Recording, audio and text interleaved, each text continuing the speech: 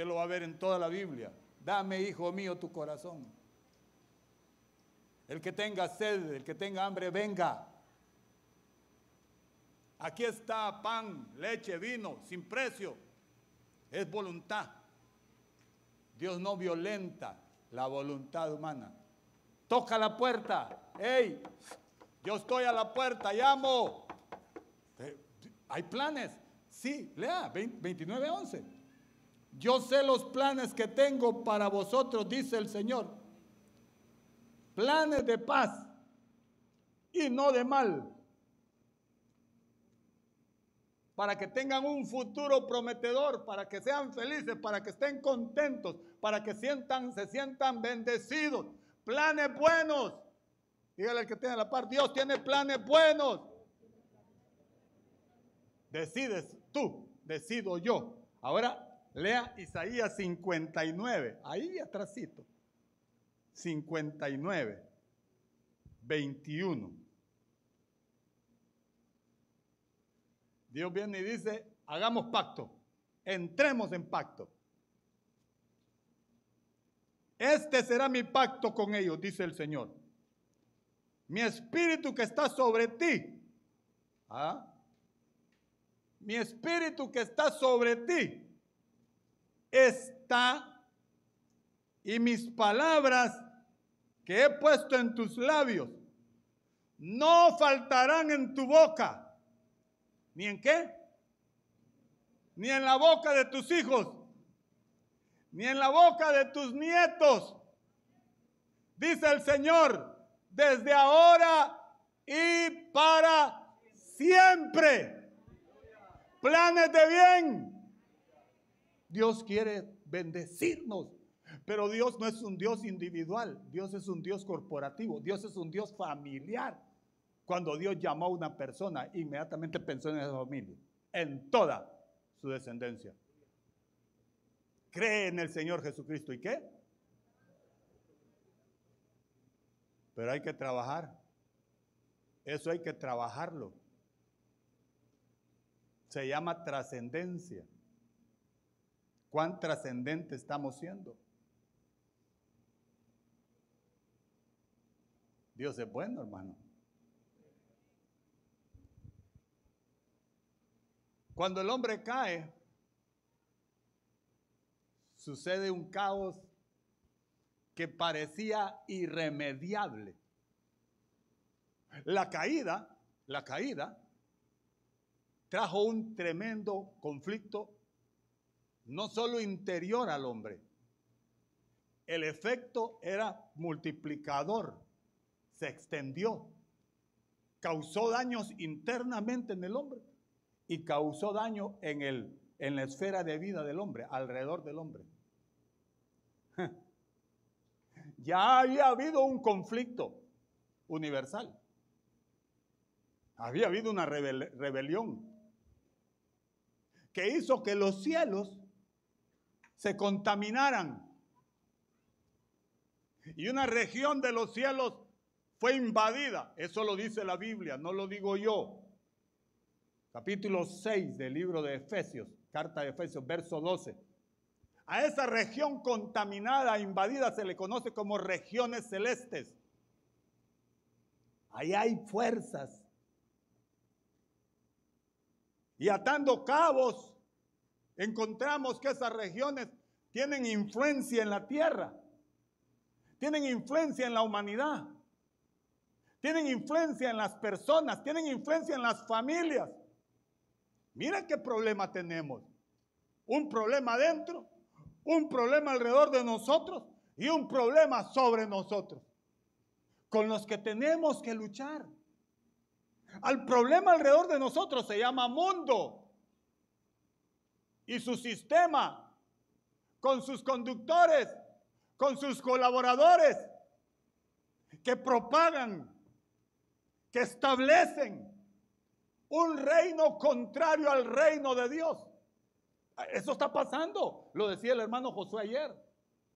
Un reino que se opone, un reino que resiste, un reino que usurpa, un reino que perturba, un reino que impide. Y que sigue pugnando, peleando para detenernos a costa de lo que sea. ¿Con cómo lo hace? Con personas, con cosas, con actividades seductoras, cautivantes. Usa todos los medios, hermano. Cae el hombre. Y Dios tiene que entrar. Dios tiene que entrar en acción. Nadie, absolutamente nadie era capaz de resolver el problema universal. Porque, porque, oiga, el universo estaba enemistado con Dios, estaba afectado. La tierra estaba afectada y la creación estaba afectada. Fue tan grave la situación que afectó una tercera parte de los seres angélicos. Mire qué, qué fuerza. A todo eso le conocemos como las tinieblas. Hay un problema, el mundo. Otro problema, pues el maligno. Primera de Juan, capítulo, creo que es capítulo 3. El príncipe de este mundo. Hay cosas que usted no quiere. Hay cosas que usted no espera, pero le pasan. ¿No es cierto? Hay cosas que saltan de la nada, lo sorprenden a uno. Usted viene de su casa contento, feliz, alegre, va para el culto. Usted quiere que, que, la palabra que dice, entraré por sus puertas con acción de gracia, por sus atrios con alabanza y diré, usted quiere que sea una realidad en su vida, en mi vida. Pero usted se levanta. Algo se levanta. Si viene en carro, iba a decir la palabra, no voy a decir. Una vieja manuda se le atraviesa. También viejos. También los viejos somos manudos. Y usted, y, y usted se levantó muy de mañana a tener comunión con el Señor para ir a ofrecer sacrificios de alabanza. ¿ah? Labios que confiesan que Jesús es el Señor. Pero algo, algo, le, algo le estorbó. ¿Por qué? Ah, porque hay una guerra permanente, constante para que el plan de Dios, el propósito, así le llama la Biblia, no se cumpla en usted. Y estorba, y estorba, y estorba. Ese es el maligno trabajando. Y otras tantas cosas que, que no, no quiero mencionar porque no es esa mi intención. Pero tenemos una lucha permanente en nuestro camino, en nuestra carrera, Vamos corriendo, vamos corriendo y de repente un obstáculo. El mundo. Otro obstáculo el enemigo. Pero hay uno más grande. Hay uno que le, da poder a esos, al maligno y al mundo. Es lo que andamos adentro. Lo que está afuera no tuviera tanta fuerza si nosotros hubiéramos subyugado lo que está adentro el maligno no tuviera tanta fuerza si nosotros estuviéramos bajo la planta de nuestros pies. Lo de adentro. Si tuviéramos control. Esa fue la razón por la cual tuvo que salir el Señor. El primer gran anunciador de la paz, el primer gran mensajero de gozo, el primer gran mensajero de alegría fue el Señor la paz, el gozo, el anuncio glorioso, no salió de ningún hombre, salió de Dios. Dios fue el primer mensajero. ¿Dónde estás tú? ¡Hey! Adán, mi máxima creación, mi obra de arte, ¿dónde estás? Y la obra de arte, la máxima creación, escondida, como lo hacemos nosotros. ¿Y por qué te escondiste? Es que estaba desnudo. ¿Y quién te enseñó? Ah, entonces hay enseñanza. No es percepción humana. El asunto de darnos cuenta que estamos desnudos es una enseñanza. ¿Quién te enseñó que estabas desnudo? Sale Dios al encuentro. Y aquí viene la... A mí me tiene, me tiene emocionado esto. El problema adentro. es el grave problema que tenemos todos. ¿Sabe cómo se llama el problema adentro? Hombre caído. Hmm. Carne. Hombre natural. Con deseos, con pensamientos, con inclinaciones que cuesta saciarlo. Es una, como dice la escritura, una sandijuela. Es, dice que la muerte, dice, no se sacia. Óigame, es un asunto de muerte adentro. Eso era el problema. Porque, porque el hombre, el hombre en la caída, oiga, se corrompió, se contaminó su alma. Pero no solo eso, su espíritu entró en muerte, su espíritu. Está en Efesios capítulo 2, verso 1, ahí está. Pero este cuerpo lindo se arruinó completamente. Por eso nos enfermamos, nos debilitamos, nos envejecemos y nos morimos. ¿Ese era el plan? No. El plan era que nosotros fuésemos igual a Dios, ¿o no? ¿No dice ahí pues? Que lo, nos hizo o hizo Adán a imagen y semejanza de Dios. De manera que cuando las creaciones miraban a Adán, les parecía estar viendo a Dios. Qué hombre más, pero maravilloso era Adán. Hombre. No tenía divinidad Adán. Pero cuando la creación lo miraba, ¿por qué? Porque Adán era la copia de Cristo. Adán era la fotografía de Cristo, lo ha dicho nuestro pastor cuántos años. Tanto que Pablo escribe en el capítulo 15 de 1 Corintios, dice, ah, el primer Adán, alma viviente, que trajo, ¿qué, ¿qué trajo el primer Adán? Muerte, pecado, desgracia. Y hoy está aquí la producción adámica por todo el mundo. Regiones de oscuridad, eh, eh, ideologías diversas. ¿ah? Eh, ¿Cuántas cosas? Maldad, muerte, violencia. ¿Cuántas cosas podríamos enumerar y no terminamos y nos terminamos afligiendo porque hay una terrible condición del mundo entero por la producción adámica? La producción adámica, que a lo bueno le llama malo y a lo malo le llama bueno.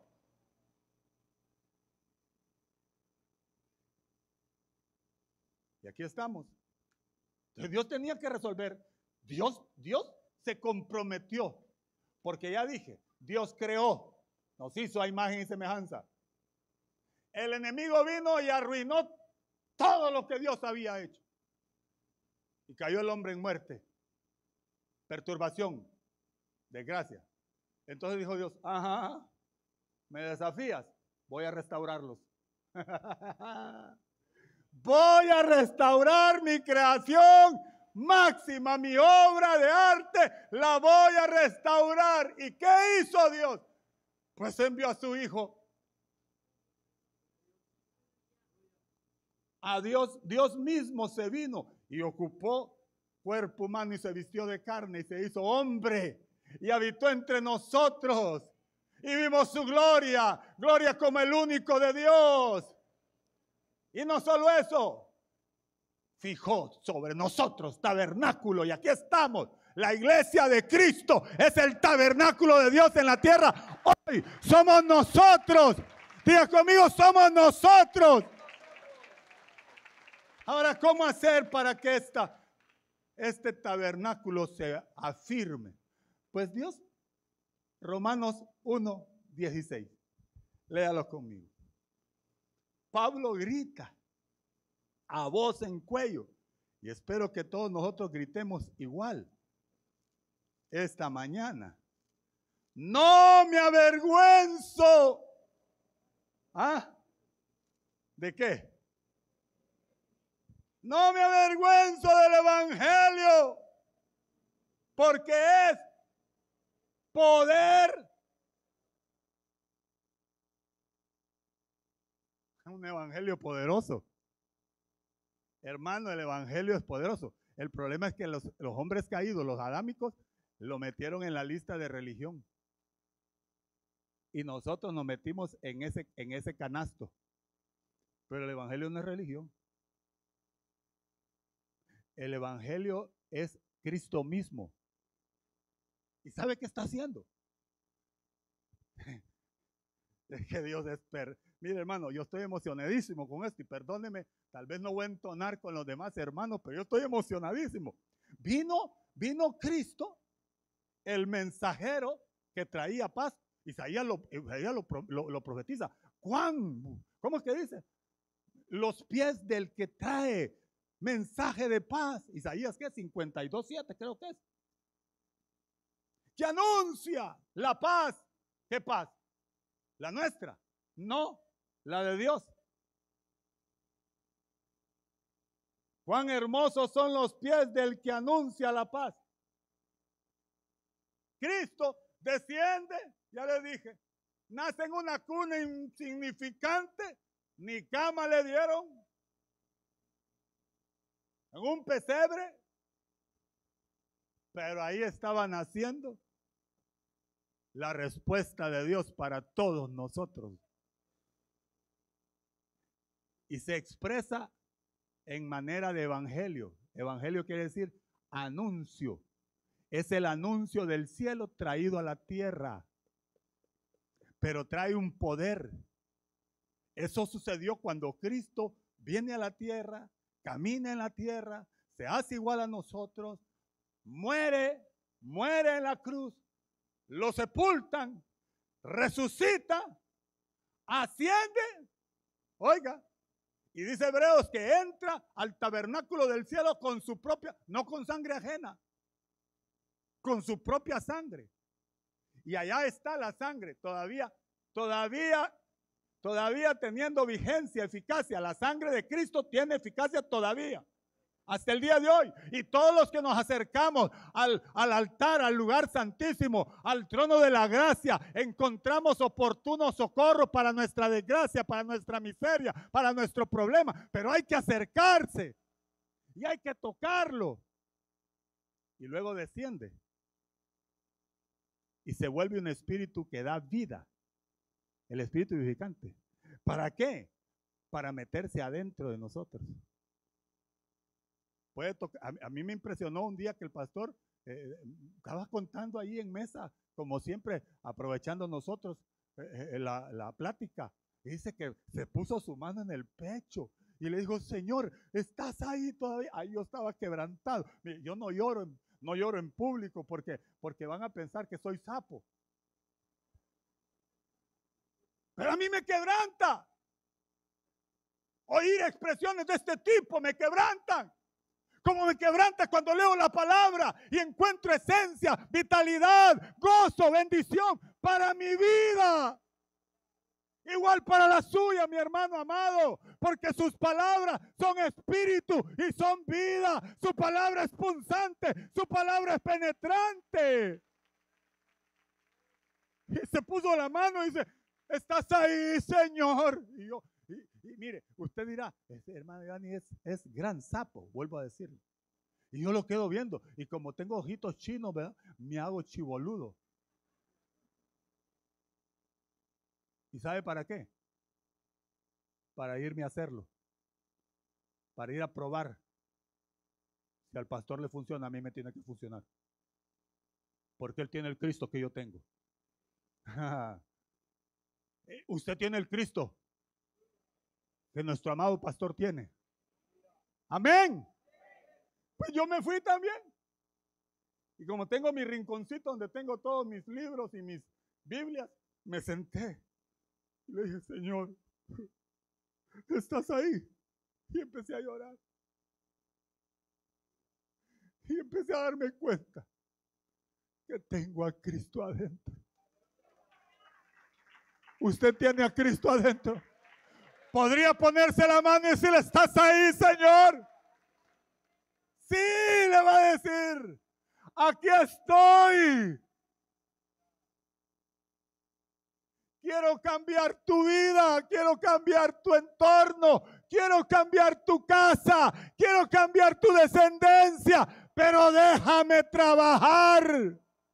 Porque el Evangelio es Cristo abriéndose paso adentro de nosotros, arrancando toda siembra que el Padre no hizo, quitando todo estorbo que el enemigo puso, que el mundo puso, toda cultura, toda costumbre que está dentro de nosotros, que no nos deja crecer como debemos de crecer, amado hermano. Aquí hay gente que debería ser maestro, pero no crecen porque no quieren porque la mesa está servida.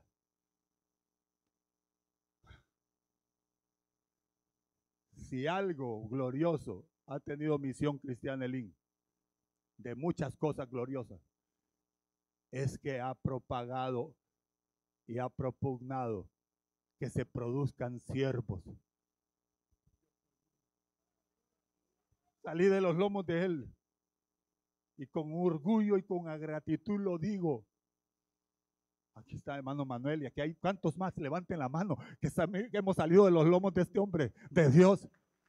Hoy aquí, 48 años después, estamos gritando diciendo, hermano, disculpe, somos deudores.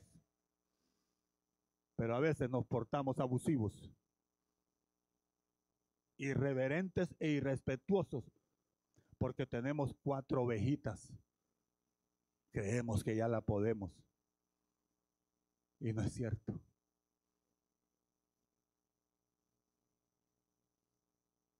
Voy a contarle otra cosita que yo recogí de las platiquitas.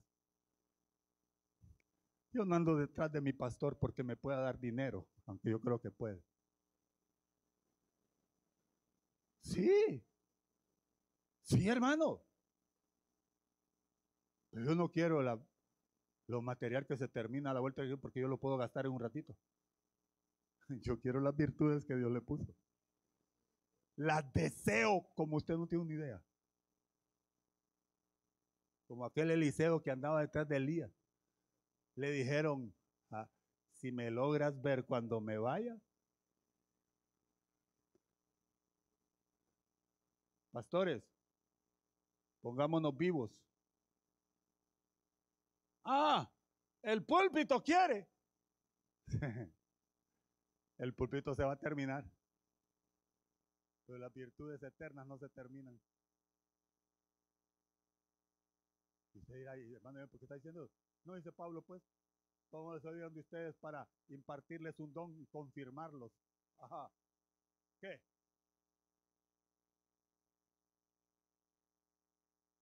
Un problema dentro. Mire conmigo. Isaías capítulo 61. Un problema grande. Padres, madres, hijos que van a ser padres y hijas que van a ser madres. Miren el problema que tenemos. Después de anunciar el jubileo, porque Lucas 4 es el jubileo del nuevo pacto, era aquella fiesta que allá se celebraba, que esperaba todo el mundo con ansias, porque había sido mal administrador, porque había, había vendido su casa, porque había vendido sus tierras, porque había vendido sus hijos, porque había vendido su familia, por necesidad. ¿Cuánta gente por necesidad ha tenido que tomar decisiones que no le han favorecido mucho a su propia casa? Voy a decirlo. ¿Usted cree que es fácil para un padre tener que dejar sus hijos y su descendencia votada para irse a buscar un mejor futuro y luego enviarle un par de dólares a su familia. Es doloroso. Pues así era. En el jubileo todos estaban esperando porque iban a salir dos trompeteros a anunciar, ¡hey! Liberación al endeudado. Liberación al esclavizado liberación. Y, era un anuncio maravilloso. La, la, fregada era el que había comprado la tierra, el que había comprado la mujer, el que había comprado, porque tenía que devolverlo. Era obligación. ¿Sabe quién los mal compró? Si es que se puede decir mal comprar. El maligno, que el Señor lo reprenda. Porque la Biblia dice que fuimos vendidos al pecado, ¿o no? Entonces hubo un precio. Malo, pero se pagó un precio. Entonces viene el Señor a recomprar. A ese recomprador se le llama Goel, así se le llama. Uno que viene en tu lugar, en mi lugar, a recuperarlo todo, todo lo perdido. El anuncio del Evangelio es el anuncio de la restauración de todas las cosas. Esto es largo, hermano. Yo no pretendo terminar con... Solo voy a tocar un punto, un punto. Porque el Señor me puso en mi corazón el mismo día que me dijeron, va, a predicar usted el domingo. Me fui, me senté y yo que hablo. Y ¡pum! me cayó del cielo esto. Que ya lo ha dicho un montón. Yo solo vengo del lorito a repetir. Pero mire el verso 4. Los que han sido restaurados, los que han recibido el Evangelio. Dije que el Evangelio es Cristo mismo dentro de nosotros, abriéndose paso, abriéndose paso, ¿ah? poniendo en nosotros los elementos necesarios. El primero que pone Cristo, el primer elemento que pone Cristo se llama regeneración. Luego viene el, Señor ¿ah? Y empieza con otro elemento, se llama transformación. Luego continúa el Señor avanzando dentro de nosotros, que se llama conformación, llevarnos a ser los hombres, la creación que Dios quiere que seamos, para que por último glorificarnos. Ese es el final. Y estos cuatro puntitos tienen muchas cosas, pero yo me voy a detener en uno. ¿Qué es la regeneración? Pues el prefijo re. La palabra regeneración es una palabra compuesta. El prefijo cambia, altera la palabra. Re quiere decir devolver o regresarnos o restaurarnos o hacernos de nuevo o hacernos regresar a nuestra condición actual, anterior. ¿De dónde caímos? ¿Ah? Ustedes nos quieren regresar a ser esos hombres. Cuando digo hombres, hermano, va incluido usted, hermana. No se me ponga celosa, cálmese. Hombre es humano, pues. Se empieza a trabajar. Y mire lo que va a hacer de nosotros. Y ellos, nosotros, digan nosotros, y nosotros reedificaremos las ruinas antiguas levantaremos los asolamientos primeros y restaurarán las ciudades asoladas. Escombros. ¿Qué? Escombros de generaciones. Somos el producto de 14 personas. Ocho bisabuelos cuatro abuelos y dos padres. 14 personas. De todas ellas recibimos información. Esa información se escribe y se le conoce como los códigos genéticos. Se escriben en los genes. Entonces usted es el producto de 14. Usted es el 15, yo soy el 15 actuamos, hablamos, conducimos conforme a la influencia de esas personas. 14. ¿Cómo fueron? ¿Qué hicieron? ¿Qué propugnaron? ¿Qué enseñaron? ¿Cómo vivieron? Así seremos nosotros. Por eso le dije que el producto de, de lo que estábamos viendo, el coro, no es un producto de, ah, ensayaron cuatro horas. Eso no es nada, hermano. Es el trabajo de toda una vida, se llama trascendencia, así se llama. ¿Entiende lo que estoy diciendo? Eso lo enseñó el pastor cuánto hace años. La trascendencia. ¿De qué árbol me desprendo? Si, si salí de un árbol de ajenjo, ¿qué voy a hacer? ¿Qué es el ajenjo? Amargo. Todo le molesta, todo es, incómodo para todo.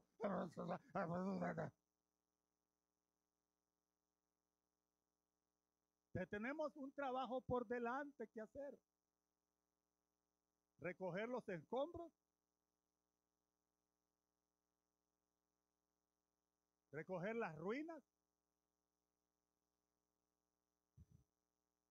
y limpiar los asolamientos, hacerlos que se cultiven, que se hagan.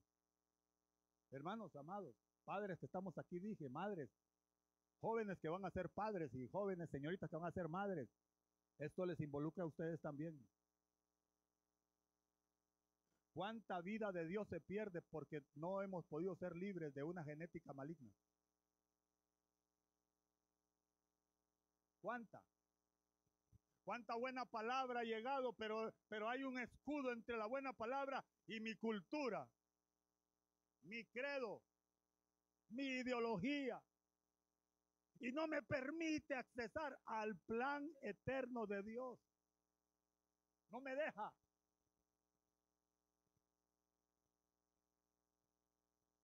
Lea alguien 12, 12, 21 de Lucas. Todo esto nos ha empobrecido. ¿Qué le pasa, hermano Giovanni? Yo tengo 7 millones de dólares en el banco y ando una tarjeta de crédito de 150 mil dólares. ¿Qué le pasa? Yo no soy ningún peluche.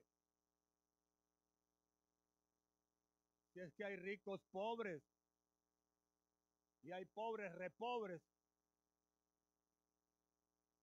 Yo estoy en la lista de los pobres repobres. Ni tengo ni lo uno. No, no yo soy rico. Diga el pobre, rico soy. ¿Ah? Pobres ricos, pobres ricos, digan ricos soy. Rico soy. Lucas 12, 21, léalo. Si lo ponen ahí, mejor. Para los que no ven, la, hay quienes no les alcanza el, el lente, como a mí. ¿Qué dice Lucas 12, 21?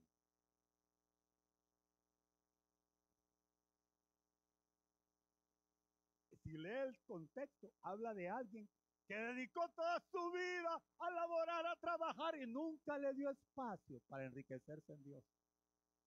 ¿Es malo trabajar? ¿Es malo comerciar? ¿Es malo estudiar? ¿Es malo prepararse? No. Yo le insisto a los jóvenes, a mis hijos, insisto, estudie, trabaje, prepárese, pero con la izquierda trabaje, labore, invierta, estudie y con la derecha trabaje su alma, trabaje su vida, no deje de hacer lo que debe hacer en Dios. Amén. Porque sí sería fatal que por aquello deje esto. Lea. Habla de que de un hombre que hizo graneros, que hizo esto, pero nunca cuidó su alma. Papás que están interesados en que sus hijos sean exitosos a los ojos de los hombres. ¡Qué bueno! Pero fracasados a, los ojos de Dios. ¡Qué malo!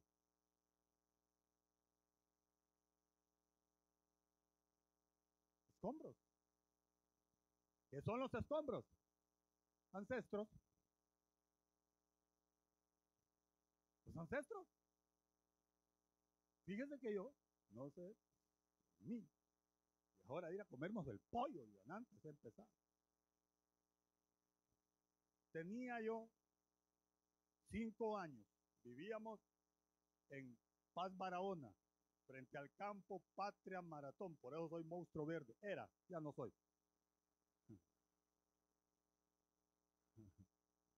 Frente al, ahí, ahí, frente, Vivimos en una casa, don Efraín, Efraín Gutiérrez se llamaba el dueño de la casa de madera. Y en las tardes me acostaba cuando venía de la escuela y había una ventana. En aquel entonces no habían celosías como hoy, y si las habían, pues en mi casa no había. Y llegaba una gárgola se paraba en la ventana y gresneaba. Todas las tardes llegaba. Pero cuando llegaba, yo la miraba que venía del otro lado del mar. Y a mí me daba miedo dormirme. Me daba miedo. Resulta que vengo al Señor. Vine en 1983, 6 de mayo, 12 de la mediodía. Y, con, y, pasé al frente ese mismo 6 de mayo, no, el 13 de, 7 eh, de mayo, al frente porque el día que recibí a Cristo era día sábado. No se me va a olvidar nunca en mi vida, nunca. Recibo a Cristo y empiezo a crecer. Y empiezo a desarrollar mi vida. Y yo perseguía al hermano Melitón porque era el que ministraba. Y yo venía casi todos los días a que me ministrara, que me sacara las culiches. Yo le contaba mis desgracias y mis miserias y mi esto y mi aquello al grado que el hermano Melitón se cansó. Un día me dijo, ya lo tengo hasta aquí, me dijo. Pero le digo yo, ¿y usted no me va a ayudar? Si es que todo el tiempo viene con el mismo mal. Es que mis escombros eran muchos. Eran muchos. Un día vine yo con otro poco de escombros y entré corriendo y estaba la hermana Maribel Flores, en ese entonces trabajaba de secretaria aquí. Le digo, hermano Tom, Ajá, te vio venir por un lado y salió por el otro, me dijo. ¿Para dónde fue? Para allá agarró, para el, eh, allá estaba en, en una esquina la moda de París, ya no existe. Salí corriendo yo. Tom, mi necesidad era grande, ¿cuál es la tuya? ¿Cómo es la tuya? El problema es que nos hemos acomodado teniendo grandes cantidades de escombros. No nos movemos ni por nada. Ay, al culto. Ahorita no tengo tiempo. Juego Honduras, Argentina.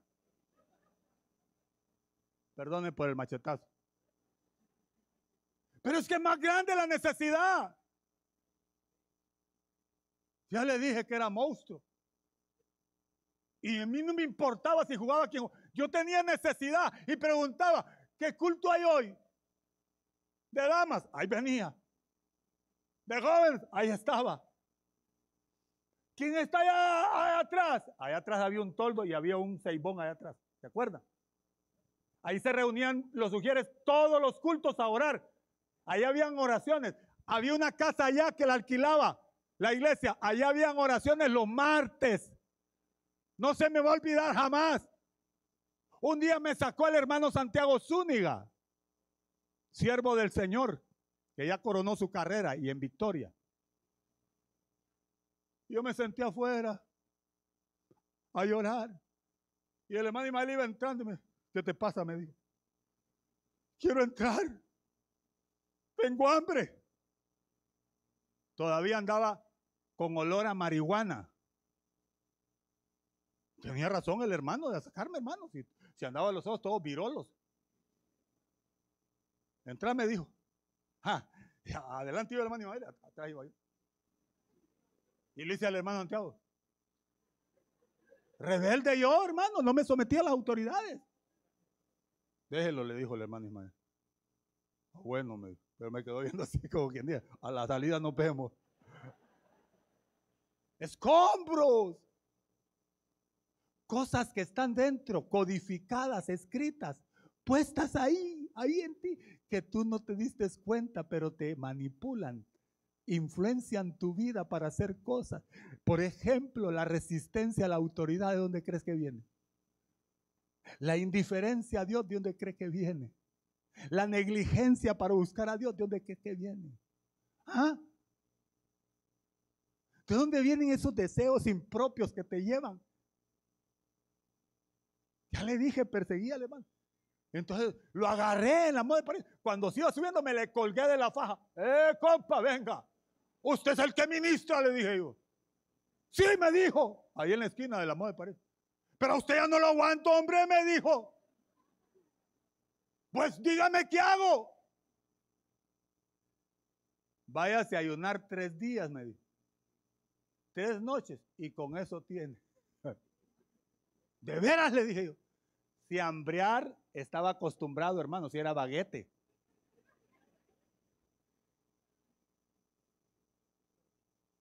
De veras le dije yo. ¿Y a dónde? El hermano Tom tenía un apartamento aquí en, creo que es por donde vive Javier, La Granja, creo que se llama. No sé cómo se llama ese bar. Váyase a mi, a mi apartamento, allá nos metía a todos. Y yo me fui tres días, tres noches eh, orando, no dormíamos. Y el Señor, Señor, y me dan un sueño en pleno ayuno. Porque cuando Dios ve el hambre de alguien y la necesidad profunda de alguien, interviene a su favor. Pero cuando Dios mira a alguien indiferente, le pone la comida, le pone la solución, le pone el camino, le habla y no hace caso. A Israel le dijo, muy de mañana y temprano te hablé. Y tú no quisiste. Y en el sueño, hermano, estoy en una ciudad llamada Anzano Mayore, Italia. Y estoy en la playa de esa ciudad. Y está un hombre hermoso, guapo, trigueño, ojudo. Y era yo. Solo que con mejores carnes, yo andaba todo desclimado. Y yo asustado porque el hombre estaba haciendo cosas terribles de las que yo había hecho en mi vida. Cosas que yo hacía que no sabía por qué las hacía, simplemente me empujaban a hacerlas. Me llevaban. Era cautivo, estaba cautivo. Estaba aprisionado con grillos de acero, de bronce. No podía. Mis enemigos eran más fuertes que yo. No podía. Y estoy ahí viendo.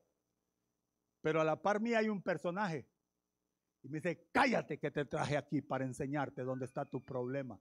La raíz de tu problema. Usted sabe que el árbol genealógico tiene raíz, ¿verdad? Y va desarrollándose, desarrollándose, desarrollando. Y, lo, lo, que vemos es el follaje, los frutos. y mire todo. Pero yo quedé extrañado con el personaje que estaba haciendo todo. ¿Quién era? Terminé el ayuno, decepcionado. Me fui para la casa, desayunando. Al siguiente día le pregunté a mi mamá, mamá, ¿vos conociste a mi abuelo? Giuseppe Humberto Lorenzo Gambarelli y Ciné. Así se llamaba mi abuelo. Giuseppe Humberto Lorenzo Gambarelli y Ciné. Y Ciné Gambarelli.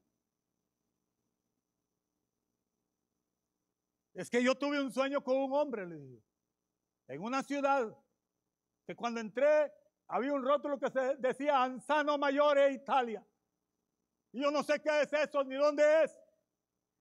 Mírame, yo no sé dónde es esa ciudad, me dijo mi mamá. Pero ¿cómo es el hombre que viste? Y le describí, es así, así, así, alto, robusto, bonito, tiene cierto, mucho parecido conmigo, mucho. Y entonces mi mamá se fue a, su escaparate, sacó una foto de mi abuelita, la mamá de mi papá y de mi abuelo. Me dijo, por casualidad es este hombre. Yo pegué un salto. Dios mío, ese es, le dije. Ese es. Es tu abuelo, el papá de tu papá. ¿Qué sé yo?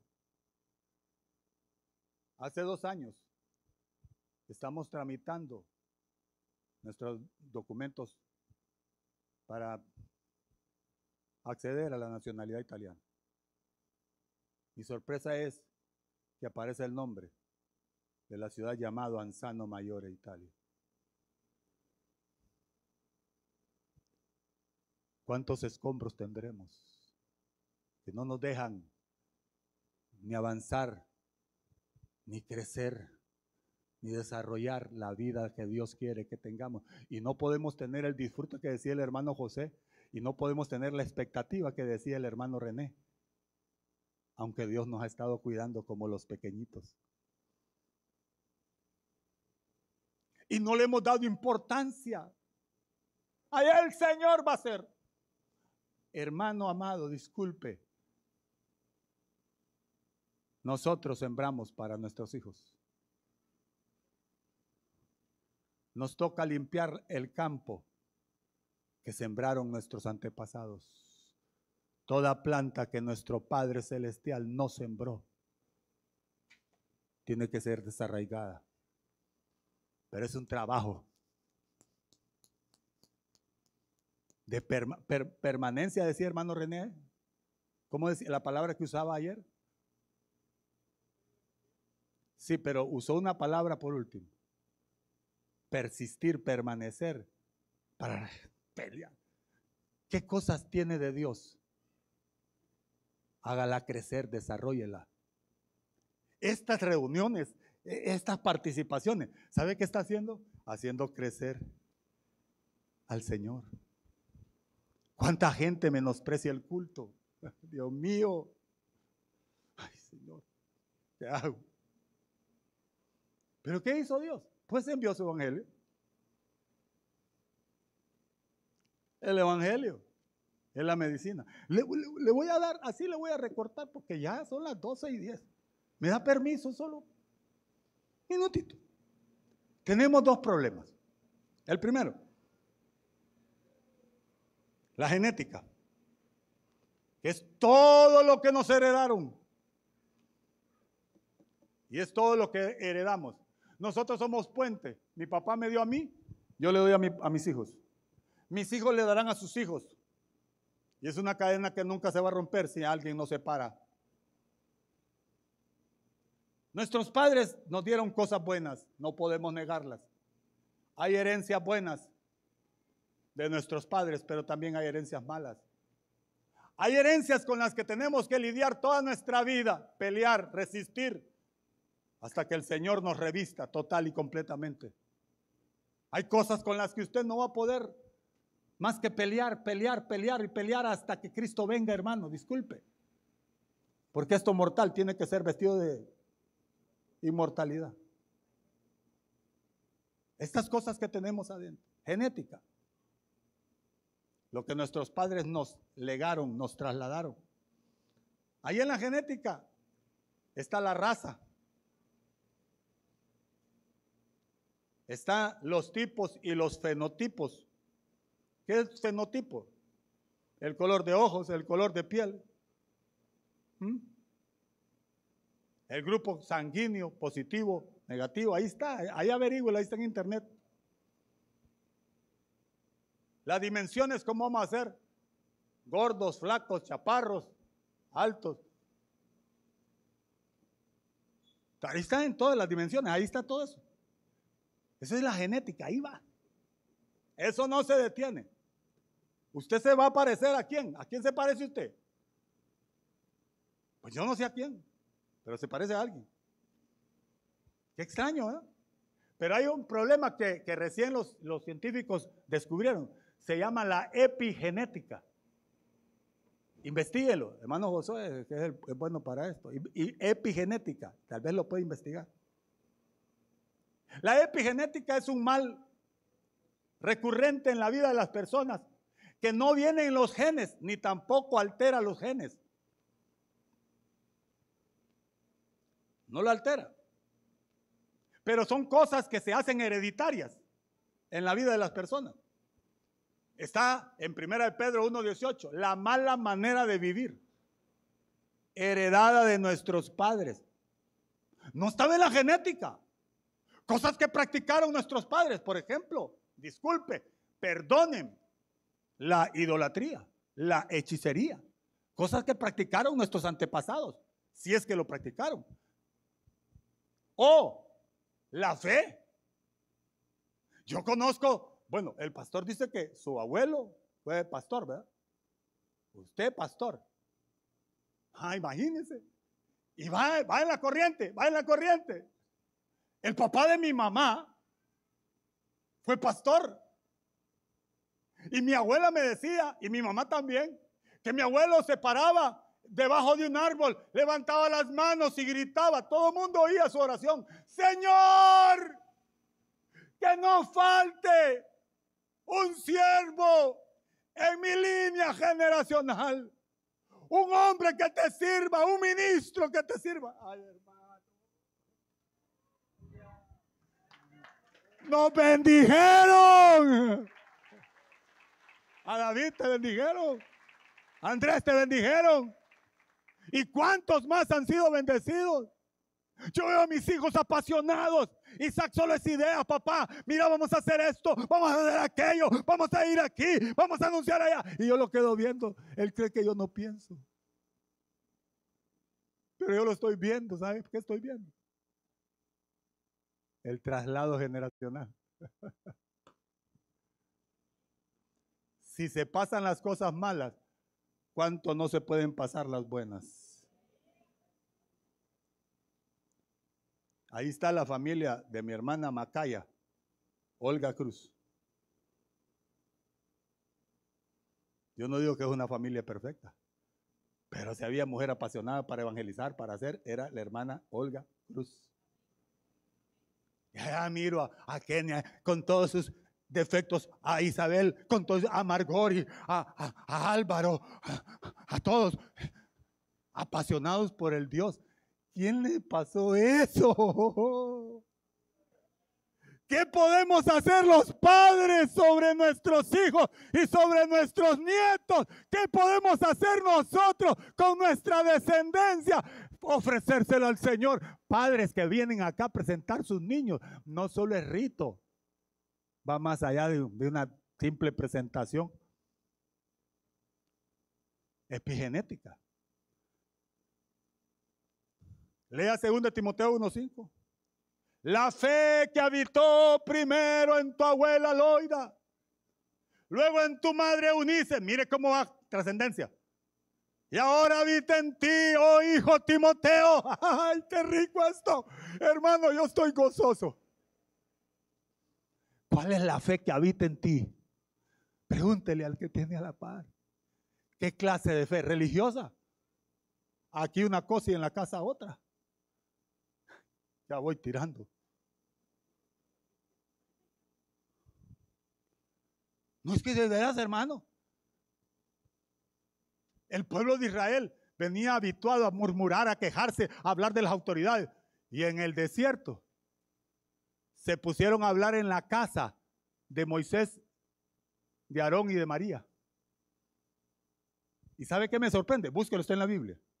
Dice, y lo oyó Jehová y se enojó. Amado hermano que está aquí, ¿qué hablamos con nuestra familia? Perdónenme, hermano, si yo, cometo errores y digo cosas que no debo. Mis hijos aman esta iglesia. Mis hijos quieren venir a cada rato acá. Mis hijos quieren participar acá cada rato. Yo solo les digo, fíjate que vamos a la central. ya van con el equipo y con todo en el hombro porque les he hablado maravillas de este lugar. ¿Ha tenido errores este lugar? Los ha tenido y los tiene. Pero a mí no me importa lo demás, me importa lo que Dios me ha bendecido. Dios me ha bendecido, en este lugar me bendijo en mi matrimonio y aquí estoy 32 años después con, el, con la bendición sostenida porque me bendijeron con bendición espiritual en las regiones celestiales en Cristo.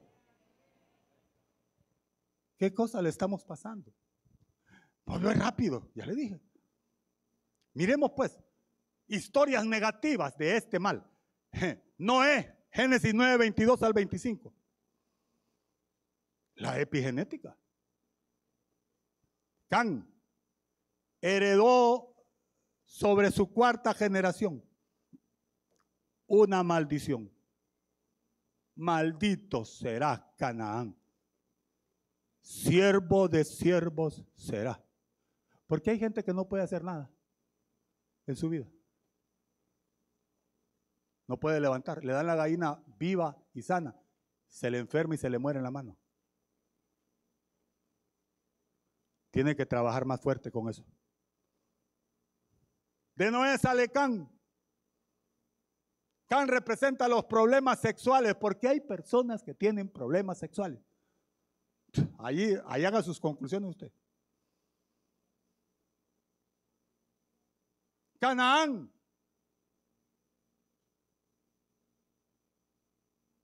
Mercader, traficante, eso significa Canaán. Personas que la ocupación terrenal es lo primero, lo espiritual no tiene importancia, eh, eh, eh, el congregarse no tiene importancia, el orar no tiene importancia, leer la palabra no tiene importancia, recibir una buena enseñanza no tiene importancia. ¿Por qué? ¿Por qué? Canaán. Cus son hijos de Noé. Significa negruzco. Al mismo tiempo significa iniquidad. Cus era un hombre de malos sentimientos. Cus tenía un espíritu contaminado. Pero de Can, oiga, el representante de los problemas sexuales, nace Nimrod. Nimrod quiere decir rebelión. Fundó la ciudad de Babel, de Babilonia. Babilonia es un aspecto del mundo en rebelión contra Dios se opone a todo lo de Dios. Quiere aparentar que el mundo es mejor que la iglesia, que es más placentero que la iglesia, que es más grato que la iglesia, que es más alegre que la iglesia. No es cierto. El vino de ellos de aquí a poco se les va a terminar y van a llorar. Nosotros lloramos hoy, pero un día vamos a reír. Así dice la escritura, irán sembrando con lágrimas la preciosa semilla y luego vendrán con regocijo, trayendo en sus manos la cosecha nuestra. Mire hermano, insistamos, insista. Es que tengo problemas, con todo y problemas insista. Es que mire hermano, yo no puedo, mire, mire, aquí la oficina de mi pastor, de nuestro pastor, era ahí en esa esquinita, mira, ahí. Era de cuatro tablas, esa era la oficina. ¿Se acuerda, hermano? Me acuerdo como que fuera hoy. Y yo me escondía porque había un movimiento tremendo aquí eh, del Espíritu Santo bautismo. Las mujeres danzaban, gritaban. Y cuando gritaban y saltaban, caían con la falda acá. Y yo quedaba con mis ojotes viendo. Ay, Señor, no quiero ver. Porque habían deseos malos en mi corazón. Hoy pueden caer como quieran.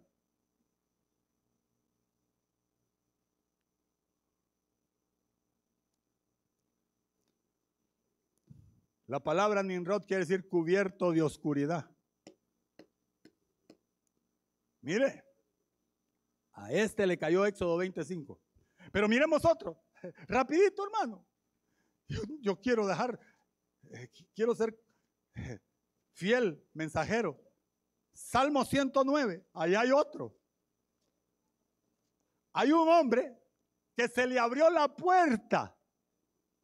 A este hombre se le abrió la puerta. Es más, le, entregaron el ministerio apostólico. Tenga. Lo incluyeron entre los doce apóstoles. Se llama Judas. Pero su papá y su mamá, conociendo la ley, que era la expresión del carácter de Dios, que era espiritual, Pablo dice que era espiritual, es decir, tenía efecto, podía cambiar a las personas, podía transformarlas. No le hicieron caso. Y los papás de Judas, o los antepasados de Judas, abuelo o, bisabuelo, resistieron a Dios, se opusieron a Dios. Salmo 109, ahí está todo. Si quiere leerlo, léalo. Le voy a dar los pasajes, cada verso. No trabajó la familia descendiente de Judas, no trabajaron con ellos. No se deshicieron de las cosas malignas que cargaban. Hermano, deshagámonos de eso. Apresurémonos. Una de las cosas es resistencia a Dios y a la autoridad. Está en el verso 4 y el verso 17 del Salmo 109. Otra ingratitud y deslealtad está en el verso 5 y verso 16. Hay quienes son ingratos. Ah, Dios me ha bendecido. Hermano, te bendijo por un varón, por un hombre de Dios. Es justo que tú que estás siendo bendecido por ese hombre, tú le compartas de tu bendición. Lo dice la Biblia. Los pastores no están pidiendo, no estamos, no estamos acostumbrados a pedir. Eran mentirosos, Salmo 109, 1 y 2. Eran violentos e iracundos los padres de Judas. Entonces ellos sembraron un mal que corrió por la sangre y aterrizó en Judas.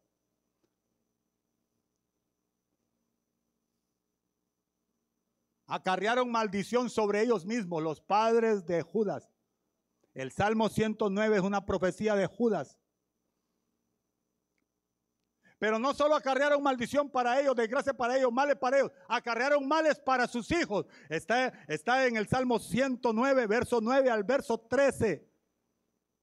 Y leamos Lamentaciones 5:7, nuestros padres pecaron y ya murieron y nosotros llevamos la carga. ¿Qué quiere decir eso? Que sobre usted y sobre mí, ya le dije, una gárgola llegaba me visitaba, me visitó por años. Luego dejó de visitarme, pero yo ya actuaba.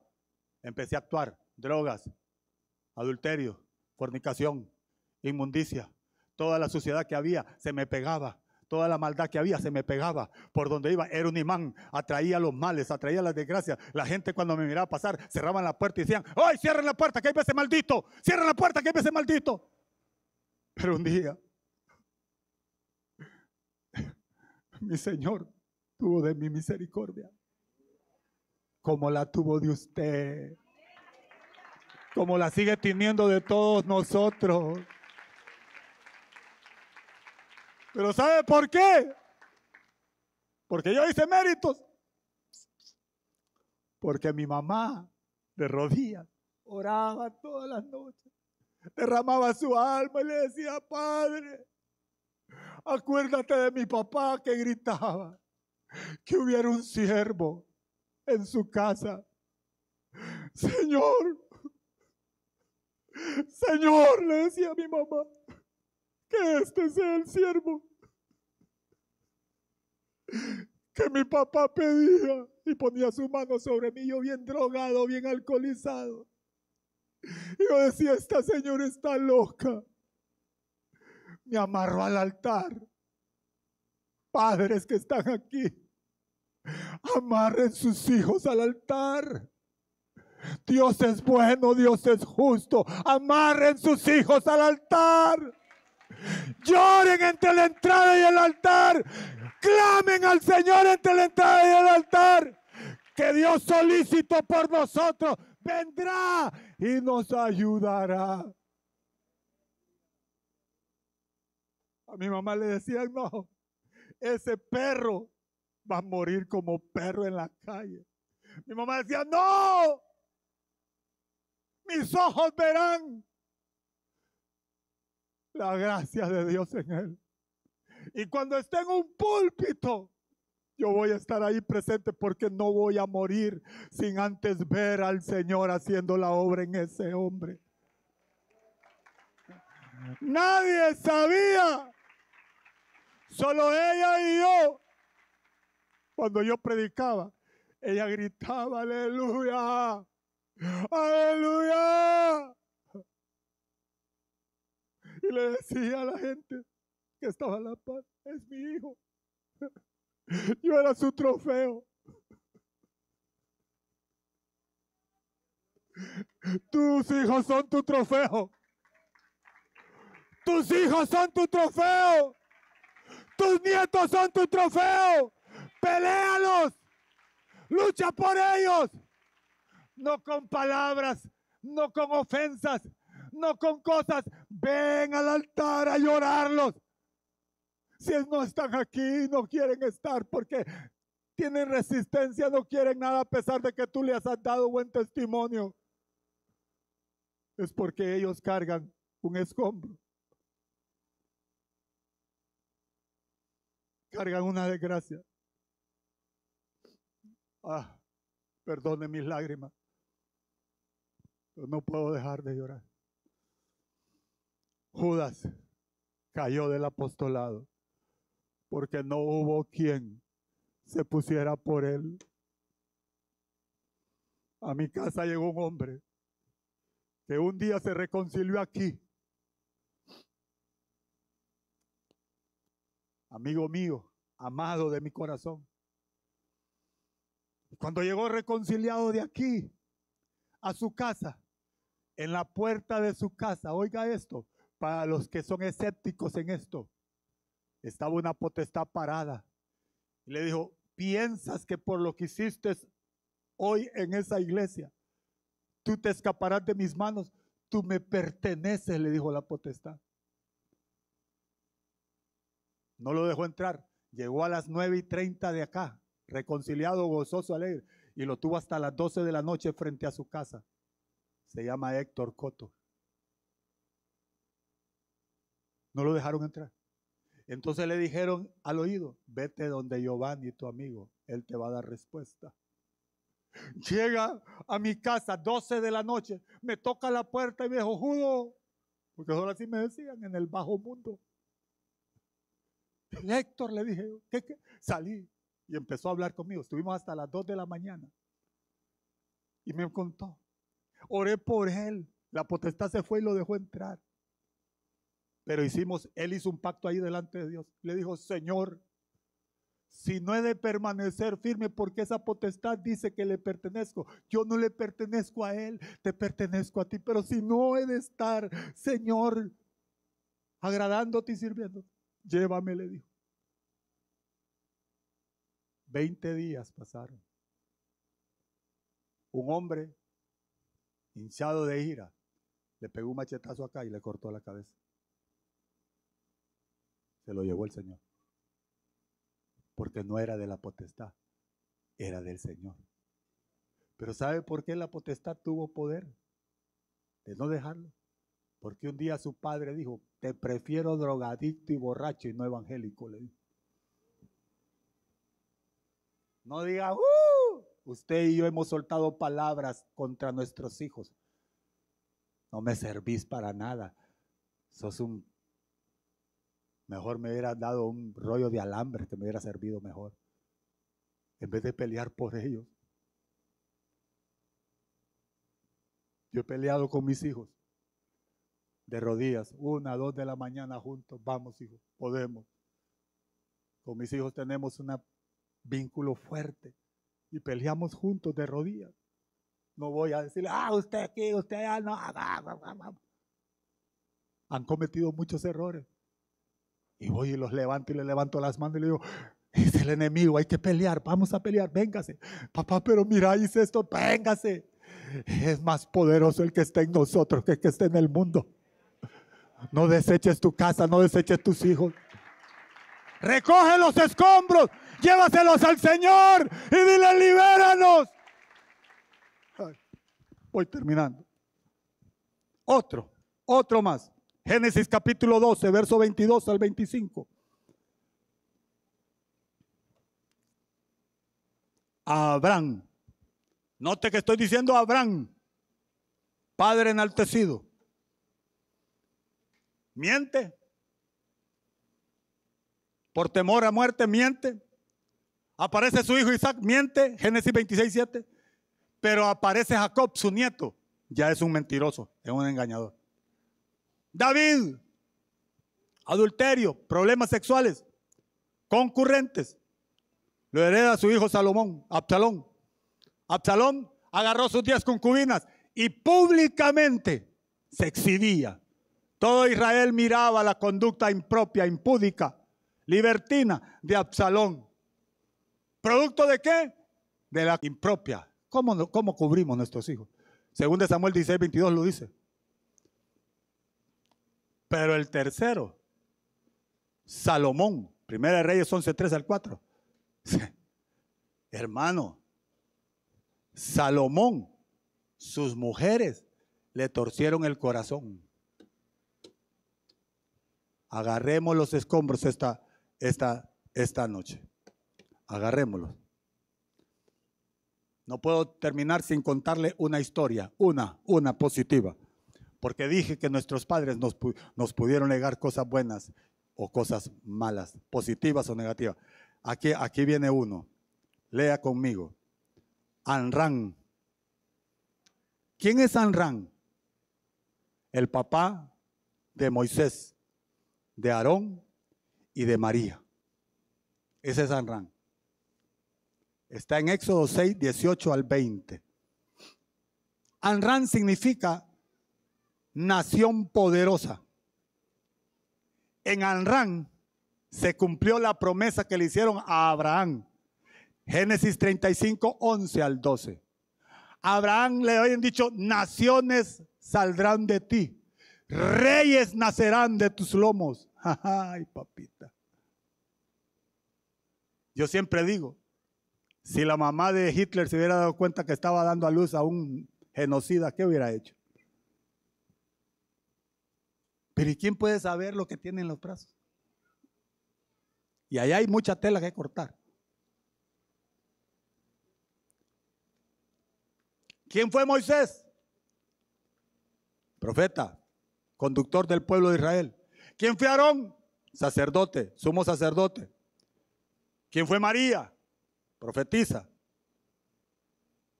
Entonces de los padres recibimos un estilo de vida. Ayúdeme alguien con el piano, por favor.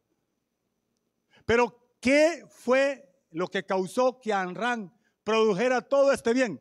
Ah, aquí está el asunto. Su abuelo, su papá Coat. Coat. Oiga.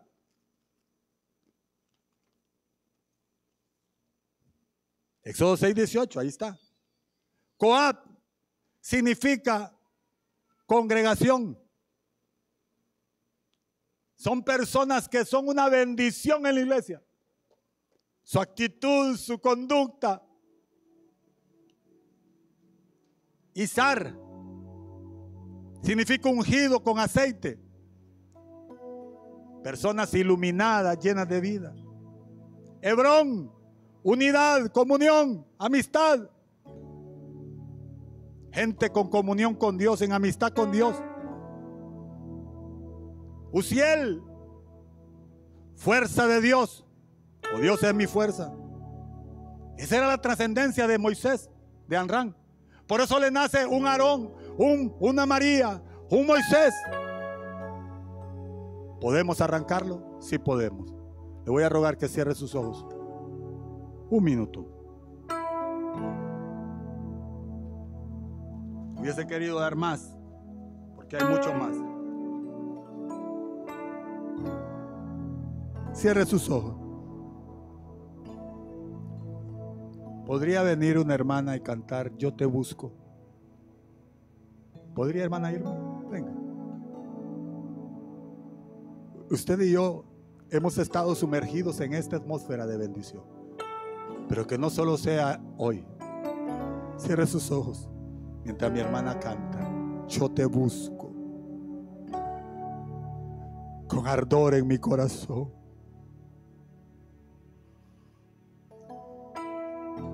Han habido noches que me he detenido a pensar de dónde me sacó el Señor.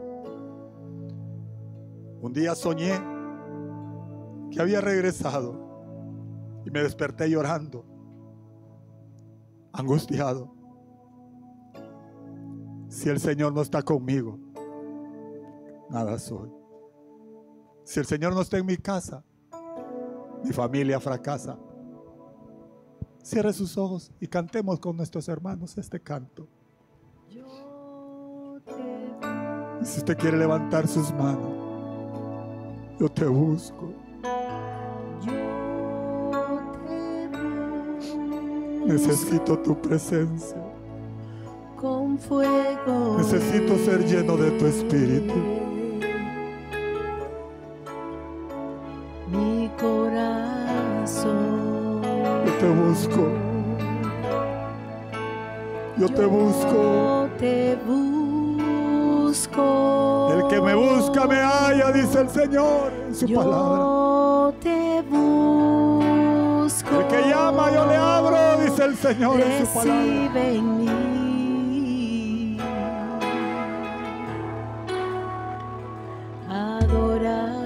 Adoración.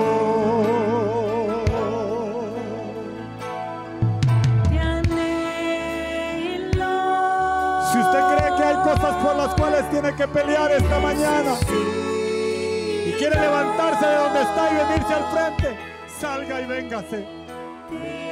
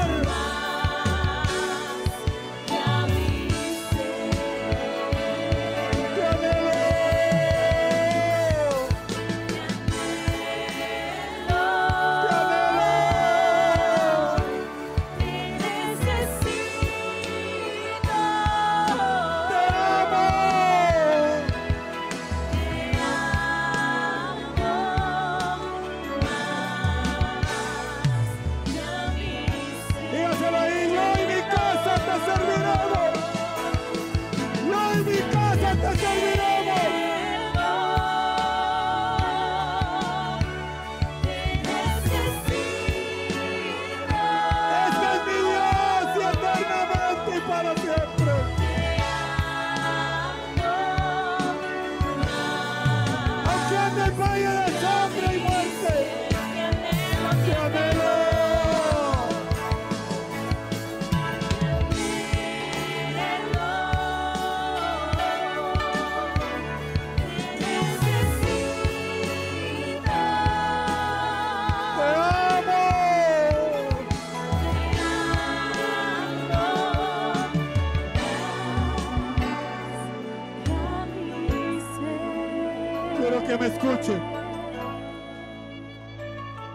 Hay una genética mala.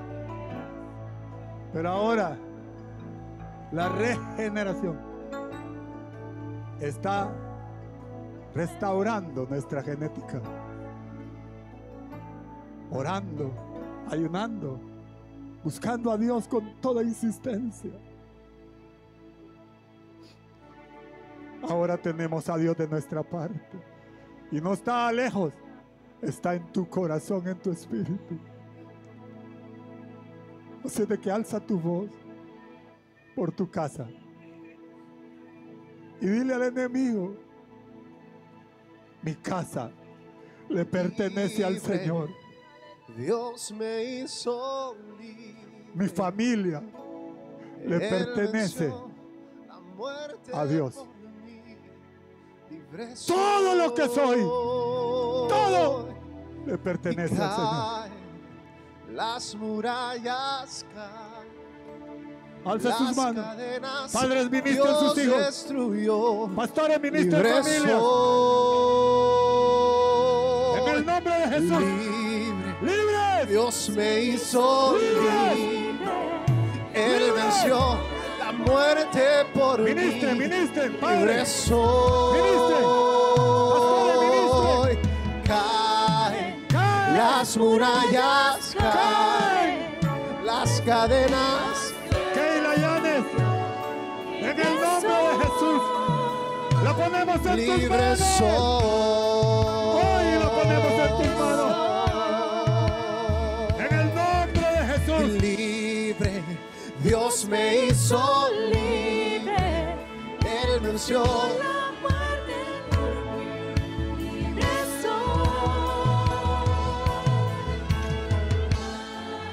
Sea libre en el nombre de Jesús. En Cristo nuevas criaturas somos. Se rompe, Todo el se pasado rompe. y toda herencia se rompen cadenas, no soy esclavo más. En Cristo soy libre. Señor. Sean rotas todas las Se cadenas. rompen cadenas, no soy esclavo más. En Cristo soy libre, no hay más condenación. Se rompen cadenas, no soy esclavo más. En Cristo soy libre.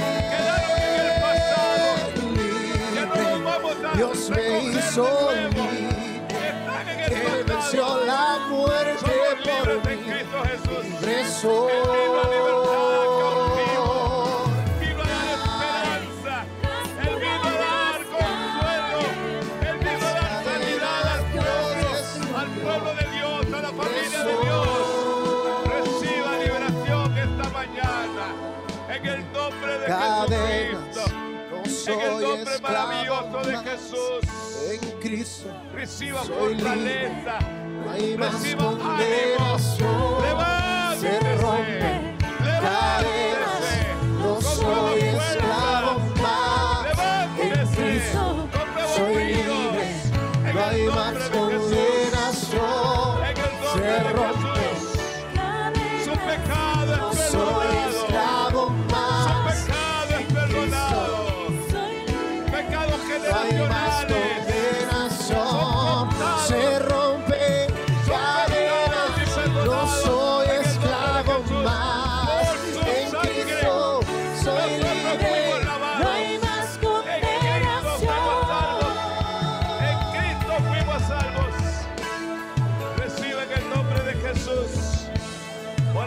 Por Keila Yanes, Señor.